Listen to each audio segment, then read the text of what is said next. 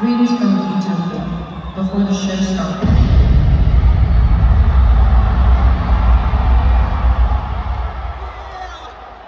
Trick or treat,